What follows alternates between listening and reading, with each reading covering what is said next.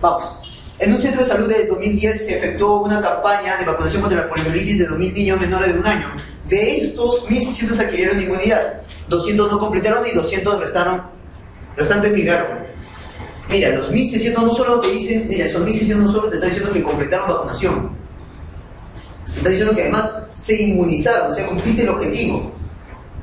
Yo también discuto acá la pregunta. ¿Cuál fue el porcentaje de eficacia? Yo discuto, porque en campañas, campañas, lo que tú mides es efectividad en la vida real, lo real, lo que ocurre. La eficacia, ¿qué cosa es? Lo teórico, lo que debería ocurrir. Entonces, lo, mejor que sería la pregunta. Tasa de efectividad. Pero bueno, ya sabes lo que te está pidiendo, ¿no? ¿Qué te quiere pedir?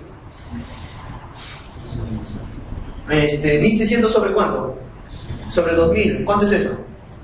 80%, ¿no? Recordarte esos términos que te acabo de decir, ¿no? Eficacia con efectividad.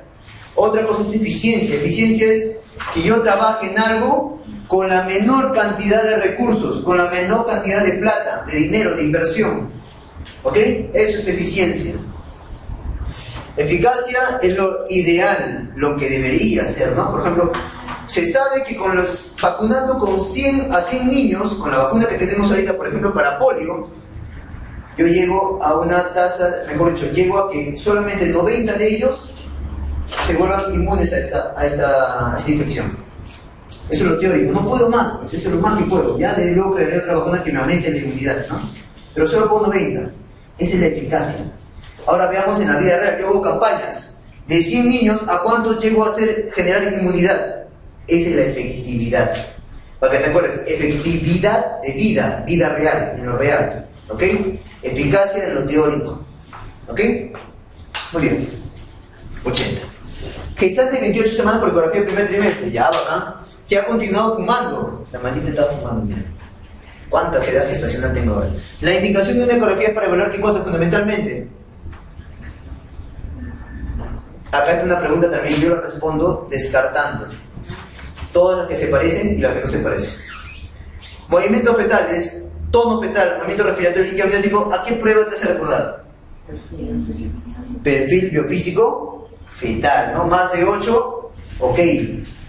En cambio, de tamaño, no. ¿Y para qué de tamaño? Para descartar qué cosa, qué enfermedad. RCU. RCU, tenemos simétrico, asimétrico y un tipo 3 por ahí. ¿Ok? ¿Cómo defines un RCU? Cuando tengo dos ecografías, mejor dicho, ecografías medidas en dos momentos diferentes, los dos, dos momentos diferentes dividido por dos semanas. ¿Y los, P, los percentiles menos de cuánto debe ser? Menos de 10. El RCU es un diagnóstico ecográfico intrauterino, por favor. ¿Ya? Vamos. Ahí está tu perfil biofísico fetal, para que nunca te olvides. Movimientos respiratorios, corporales, tono, reactividad fetal y amniótico, ¿no es así? 8 a 10, como te dije, habla de un resultado, un perfil físico normal, adecuado, correcto. Recién nacido de 3 días con antecedentes de madre, vamos más rápido, ¿ya? Hipertiroidea en tratamiento, también, ¿cuánto te han preguntado sobre un recién nacido de madre hipertiroidea? Nunca, no he visto por lo menos hasta ahora. Veamos, ¿qué prueba de laboratorio solicita para diagnosticar la enfermedad tiroidea, o sea, en el recién nacido? Eso es fácil, nunca te pregunto, pero lo sacas lógicamente, ¿no? ¿Quieres que, ¿Quieres que tenga un trastorno tiroideo? Entonces, ¿qué le pides? Los screening. TSH-T4 libre. Pues tú ves que vas, yo también marqué esa, pues, ¿no? Yo también marco lo correcto, pero tengo que traerte algo más, pues, ¿no? Revisión del, del de ¿qué dice? ¿Ok? Que. Bueno, está, se ve bien. Ah, ya, que los pacientes de madres hipertiroideas hacen clínica hipertiroidea. Yo estaba buscando, ¿qué hace? Ya, tengo una enfermedad, tengo una mami con enfermedad Graves. ¿Qué cosa va a tener el producto? Y frecuentemente lo que puede llegar a tener son clínicas de hipertiroidea. Y eso se le llama los neonatos con enfermedad de Graves. ¿Ok? Acá dice, ¿no? La función tiroidea de... Uh, Infantes recién nacidos son hipertiroidismo por la enfermedad de Graves. ¿Ok? Y para esto, ¿con qué lo mido? Medido con niveles séricos de, de T4 libre y la TSH. ¿Ok? Muy bien. Ahí está, confirmado, ¿no? ¿Cómo lo, cómo lo busco el diagnóstico? Lo que me crees. Adolescente con sinusitis presenta fiebre, confusión, parálisis de musculares y proptosis del ojo. ¿Cuál es el diagnóstico probable? Adolescente con sinusitis. Ya, bacán, sinusitis. Puede ser esfenoidal, no sé, pues frontal, no lo sé, ¿no? Pero tiene sinusitis. Presenta fiebre ya por la sinusitis. Confusión. Ah, ha subido el problema. Parálisis musculares, se ha afectado los músculos oculares. Proptosis del ojo, hay algo que está, está saliendo al ojo todavía. Está este, sacándolo. ¿Cuál es el más probable? Por la proptosis, enfermedad de Gray, no, pues no va con fiebre. Conjuntivitis, no, absceso tampoco, tumor no hay tumor, no te hablan de masas.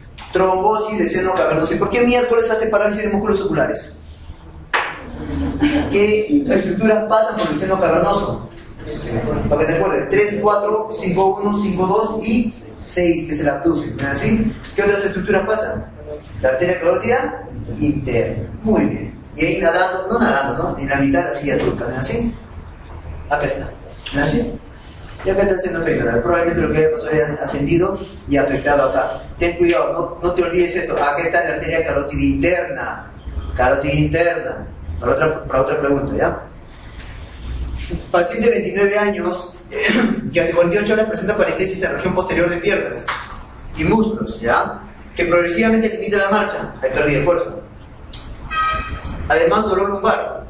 Bueno, refiere que hace 15 días sufrió resfrío común, antecedente gripal, infeccioso, pares craneales y sensibilidad normales.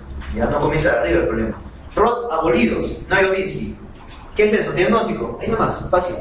Problema que comenzó con parestesia, luego vino el déficit motor, por último falla respiratoria va a ser. ¿Qué es eso? Gillian Barré. Acá te dicen de la infeccioso, siempre busca, bueno, acá te dicen un resfrío. Pero si no fuera resfrío, te preguntan cuál es el más frecuente, ¿en qué patología vas a pensar? ¿Diarrea por quién? Campylobacter jejuni, por mecanismo de pitopo, reacción cruzada, hace que se produzcan autoanticuerpos, haciendo que estos viajen a nivel y actúen a qué nivel? del ¿a qué nivel? ¿Del axón o de la mielina? Mielina, muy bien, debe ser el Schwann, de la mielina. ¿No es así? Muy bien, y esto te lee la clínica, que es la de Guillain Barré, también llamada polirradiculoneuropatía periférica asimétrica, simétrica ascendente, simétrica ascendente, ¿no así? Así, comienza parestesias, luego pérdida de fuerza, luego reflejos de negación negativos, ¿no? Su criterio, por lo que ya te he mencionado, pregunta, pregunta, pregunta. ¿Le voy a pedir PL o no le pido PL? ¿Lo pelo o no? Sí. Preguntes, ¿a qué semana? A la segunda semana, a la segunda semana, ¿no? ¿Cuánto se demora en evolucionar el cuadro clínico? Cuatro semanas se demora en llegar hasta la falla respiratoria y va ascendiendo. ¿Ok? Tratamiento de elección, o bien inmunoterapia o bien plasmaféresis, no los dos, ¿ah? Cualquiera de los dos. Aparte, obviamente, su ABC. ¿Qué hacemos con este paciente? Mantener vía aérea y vigilar estricta función respiratoria. Por ejemplo, te llega a tu consultorio un paciente con Guillain Barré, ah, sí, va a pasar solo. Sí, pasa solo. ¿No cuál es el problema? señor tiene que ir a UCI. ¿Por qué? Porque en cualquier momento puede ser falla respiratoria. De frente, ya lo mandas. Cuidado mis hijos. Lactante de 11 meses ingresa a emergencia después de presentar una convulsión tónico-crónica generalizada. Hasta ahí, punto. Hasta ahí, ¿qué sería? Diagnóstico. ¿Una convulsión de qué tipo? ¿Simple o compleja? Simple, por la tónica crónica generalizada. Muy bien. Pero no, pues sigue leyendo, no te emociones. Temperatura 39, muy bien la fiebre. Letargia y con hemiparesia derecha. ¿Qué es eso? ¿Compleja o pienso en otra cosa? Acá hay dos cosas que de verdad, cualquiera me diré, como ayer me dijeron, ¿no? Doctor, pero podría ser compleja, pues. Sí, pues, pero ¿por qué? Porque está focalizando en mi hemiparesia derecha. Sí, pero eso viene después de que justo convulsionó este brazo, pues. Generalmente no te puede un trastorno, eh, no sé si una tónico crónica generalizada. ¿Ok? Además, segundo criterio para yo marcar meningitis, es lo que yo quiero primero descartar. Si te viene un paciente y tú vas a pensar, ah, es una compleja. No, vamos a decir eso. ¿Qué tienes que descartar? Si tienes fiebre todavía. Así es. Y otro tercero, de repente ahí apoyando, la letargia, trastorno del sensorio. ¿Ok? Entonces yo que marcaría acá por probabilidad y porque también me, importa en el diagnóstico descartarlo, meningitis, así es, meningoencefalitis bacteriana, ¿no? Meningoencefalitis bacteriana. Muy bien. Neumococo la cabeza, ¿no? Este edad, ah, no, 11 meses. Bueno, por ahí está cambiando, ¿no? Neumococo y el estreptococo están los dos ahí, 11 meses. ¿Ya? Puede confortablemente la edad, se convierte en poco. Tratamiento de elección de, de meningitis en niños. Cefalosporina, ceftraxona o cefotaxima. Ceftraxona, dosis de meningitis, ¿ah? dosis de meningitis, 100 miligramos por kilo por día dividido en dos dosis. ¿Ya? Y vas a asociar también corticoides, por favor, 0.06 dividido en cuatro dosis. ¿Ya? Ayuda muy bien, ¿ah? Los pacientes responden muy bien con la, con la corticoide además. Y también le puede hacer potasima dosis de dobla, pues 200 miligramos kilo día. ¿Ya? Vamos. Mujer de 45 años con gran multípara. ¿Cómo se define una gran multípara? 6 o más, ¿no? 6 o más embarazo, ¿no? Maldito, ¿no? Presenta dolor tipo cólico recurrente de varios meses de evolución en cuadrante superior derecho. Y en epigastro. Desencadenado por la ingesta de comida abundante. ¿Qué es eso? Pancreatitis, ¿no? No, no es pancreatitis. ¿Qué cosa es? Coleocolitiasis o colelitiasis. Es una colelitiasis, ¿por qué? ¿Qué está haciendo qué cosa? Colicitis crónica. Está haciendo una colicitis crónica probablemente calculosa. Probablemente calculosa. Factor de riesgo para eso, esa mujer. Dos, multiparidad. Tres, obesidad. Por ser múltipla, hace obesidad. Bueno, no siempre, ¿no? Hace fuerza, hace ejercicios. Depende. Bueno, ¿cómo defino colicitis crónica? Aparte de, todo este, de toda esta clínica, ecografía. La ecografía se parece a una colicitis aguda. ¿Por qué? Porque tiene tamaño grande. ¿Cómo se define un tamaño grande por ecografía? Regla de los 4, le llamo yo. 4 centímetros y pared más de 4 milímetros. Pero ¿qué es lo que no tiene que tiene la colicitis aguda? No, también tiene cálculo. ¿Qué tiene? Edema de pared. No hay edema de pared. Entonces no es un proceso agudo. Cálculo sí tiene, porque la causa es más frecuente. Acá está, ¿no? Con, con sombra acústica todavía. Lactante de 9 meses con peso 100-800. No, tiene 9 meses ya. Acude con la madre a emergencia por presentar dis, diarrea aguda acuosa. Ya te dijo todo, diarrea aguda acuosa te dijo. Y tiene 9 meses.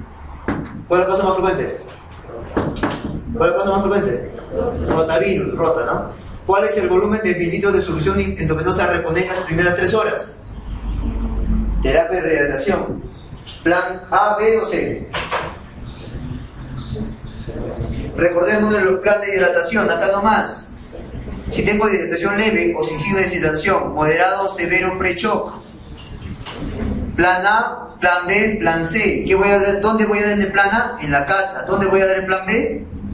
En tu consultorio o en tu emergencia, lo que ha rotado por el niño. Ahí lo que hacíamos, ¿qué cosa es? Sentadito ahí, tienes que hacer, a ver, toma, tienes que tomar, toma. Señora, tome, tome, por lo menos una, dos, tres horas que se quede ahí tomando. ¿Sí o no? Lo que hacíamos en el niño. El plan C, ¿qué cosa es? ¿Dónde lo voy a dar? Hospitalizado. Es más, en UCI si quieres. Depende, ¿no? Ahora, ¿por dónde le voy a dar? Por la boca, por la boca. Si no es por la boca, gastroclisis, gastroclisis. Plan C, ¿por dónde le pasas? ¿Por la boca? ¿Transrectal? No, pues, maldito. Endovenoso. ¿Ya? ¿Qué más? Este. ¿Qué cosa le voy a dar? ¿Qué está indicado en el A? No. Aumento de ingesta de líquidos. Acá en el plan B está, puedes darle si quieres, ¿ah? pero acá en el plan B está indicado ahora sí, recién, ¿qué cosa? Suero o sale de hidratación oral. ¿Y acá qué cosa está indicado? Suero fisiológico. Acá en la terapia plan C hay una terapia de hidratación. Primero, los bolitos, ¿no? ¿Cuánto es el bolo? 10 a 20, manito, 10 a 20, ¿ya? En 10 a 15 minutos. ¿Y cuánto le voy a pasar? Máximo 3. Si veo paso 3 y no veo que responde, ¿qué cosa hago? Piensa que este shock se ve otra cosa, shock séptico, no sé, o está sangrando por algún lado, no lo sé. Cuando ya hago el bolo y responde, terapia de hidratación, y hay dos tipos, la rápida y la lenta. La rápida es en 3 horas, la lenta es en 24 horas. Las 3 horas, en la primera hora, ¿qué estás preguntando? Allá, ah, pues. En las 3 horas, ¿cuánto le va a dar? En las 3 primeras horas. Se supone que si tienes 3 horas, no me vas a pensar en 24 horas, ¿ah? ¿Me entiendes, no? Si digo 3 horas, doctores, es porque le vas a dar, mejor dicho, la rápida es en 3 horas. ¿Cuánto le doy en la primera hora? 50. 50. En las siguientes, 25, 25. En las 24 horas, ¿cómo lo, cómo lo divido? Dos primeras horas, seis siguientes horas y lo que queda, 16 horas. ¿Sí? Muy bien. ¿Cuánto le paso en las dos primeras horas? 20, otro 30 y otro 50%. Como tú ves acá, y acá 3 horas no puedo sacarlo, pues ¿cómo lo saco? Lo no, te tienes que preguntar para que sea lenta, o 2 horas, o 8 horas, o, 24 horas. En la rápida te que preguntar 1, 2 o 3 horas. Acá te preguntan 3 horas. ¿Cuánto es el volumen? Calcula, ¿cuánto es? 100, 180, no, 780 será. 780, sí. Vamos. Gestante de 36 semanas con sangrado vaginal moderado. Gestante de 36 semanas con sangrado vaginal moderado sin dolor. Ya, diagnóstico. Segunda mitad del embarazo y sangrado sin dolor. ¿Qué es eso? Sin hipertonía uterina. ¿Qué es eso? Y es eh, noticia roja, ¿no? Ya. ¿Qué es? Diagnóstico. ¿Qué quiero sospechar? ¿Qué estoy sospechando? Placenta previo, muy bien. Y para confirmar mi diagnóstico, ¿qué le voy a pedir? Le vas a decir tacto, tacto, tacto vaginal, No, tacto vaginal contraindicado en placenta previa. Contraindicado. ¿Qué, ¿Pero qué sí puedo hacer? Ecografía. ¿Por qué? Para hacer mi diagnóstico. Ecografía. ¿Hasta qué semana se debe prescribir esteroides para la maduración pulmonar fetal estadísticamente significativo? Fácil, ¿hasta qué semana?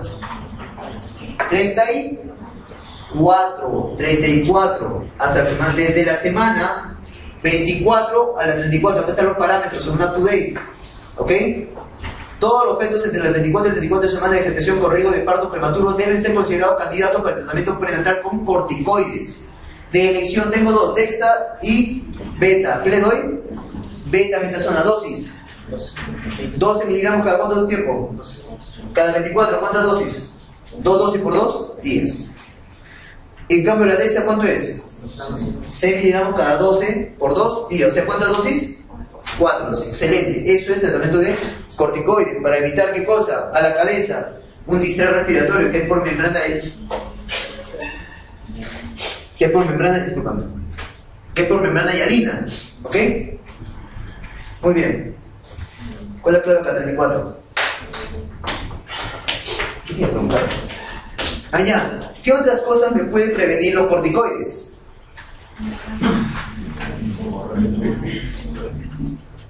Así es, hemorragia peri, no, intraventricular, leucoplasia periventricular también. ¿Y qué otra cosa más? Enterocolitis necrotizante. No te olvides, eso también te previene. ¿ah? ¿Cuál es la conducta a seguir frente a una sospecha artística? Es un insulto para ti. Artritis infecciosa aguda o artritis séptica aguda. ¿Cuál es la causa más frecuente de etiología? Estafilo. Pero si te pregunto, según grupo etario y descartando estafilo, si fuera un recién nacido, ¿en qué patología pensaría? ¿En qué etiología? La misma para sepsis. ¿Cuál es? Estreptococo. ¿De qué grupo? Como loco te voy a tener solo grupos, ¿sabes? Porque caes ahí. Del tipo B o a Sí, excelente, muy bien. ¿Y de los niños prevacunales cuál serían? Por algo digo prevacunal. Haemophilus, Haemophilus influenzae. Si fuera anciano, pseudomona por ahí. ¿Ya? Si te digo de proceso de aguda, si te digo de proceso subagudo crónico en Perú, Cerro San Cosme, ¿en qué vas a pensar? ¿En quién? Interno de 2 de mayo, ¿en qué vas a pensar? Teve, muy bien, la bien gritas todavía, ¿no? Está bien, Teve, así, tenso, a mí me dice así, ¿no? Teve, muy bien, Teve, ¿no? Mi caballero tuberculosis. Excelente, muy bien. ¿Qué hago cuando un paciente tiene sospecha artritis séptica, lo que más frecuente rodilla? ¿Qué hago? Artrocentesis y a la vez, ¿qué hago? Lavado articular. Y ese es el manejo. el pilar del tratamiento es lavado articular, doctores. En el Loaiza lo que yo hacía, solamente le pinchaba una boquita y cambiaba nomás la jeringa, lavaba, lavaba y hacía eso, ¿no? Pero no, en realidad, ¿cuál es? Como loco llamaba a los traumatólogos y en mi caso me hacían, porque ¿cuál es el de elección? Lo mejor que hay que hacer. ¿Cuál es? Lavado articular por.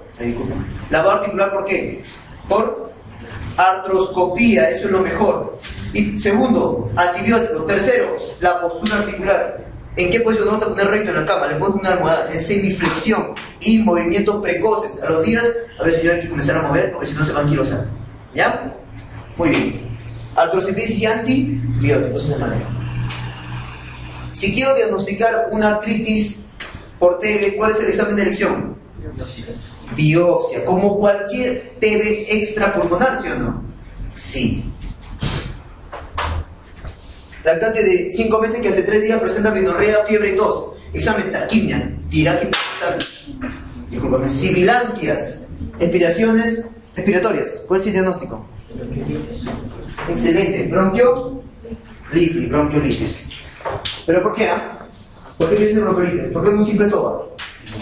Que también es un tipo de bronquiolitis. ¿ah? Mejor dicho, la bronquiolitis es un tipo de soba. Por la edad y porque es su primer episodio, cinco meses, generalmente es entre los seis meses, ¿sí o no?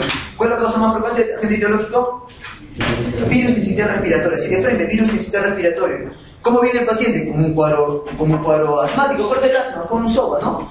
Obstrucción bronquial, sibilancias, atrapamiento de aire en la radiografía y sibilancias expiratorias. ¿no? Acá, y puede llegar a ser una dificultad respiratoria que tú lo calculas con tu examen de Zimmerman Anderson, ¿no es así?